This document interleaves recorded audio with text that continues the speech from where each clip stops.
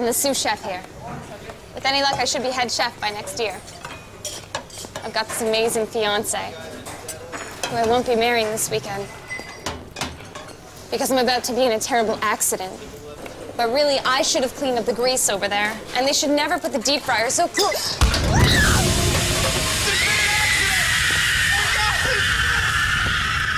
Somebody!